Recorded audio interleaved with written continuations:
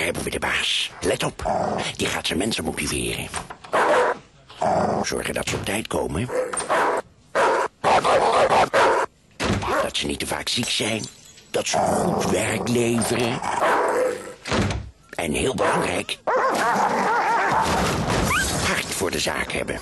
Ja, ja, dat is nog een hele kluif. Misschien zou die eens met Commit Arbo moeten praten. Die weten precies hoe je het beste uit mensen haalt, zonder te blaffen. Van ziektecontrole tot conflictbemiddeling tot en met company fitness.